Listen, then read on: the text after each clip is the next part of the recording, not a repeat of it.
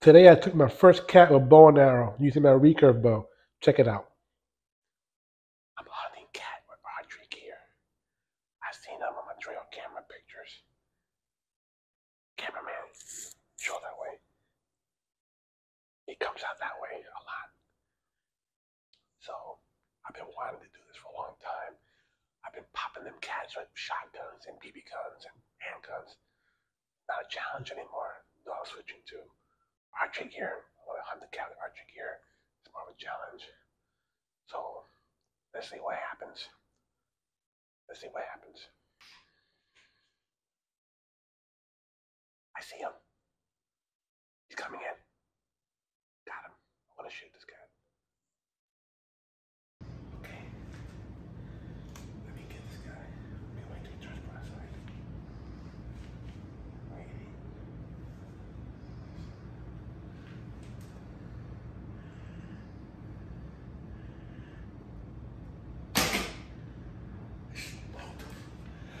Good job.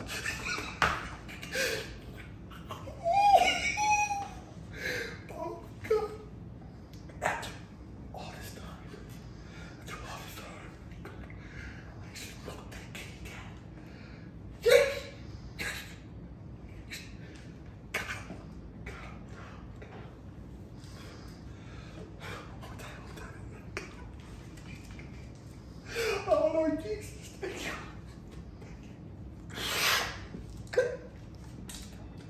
it off, turn it off. I found the arrow. Check this out, man. Really good blood. I know there's no way he survived this.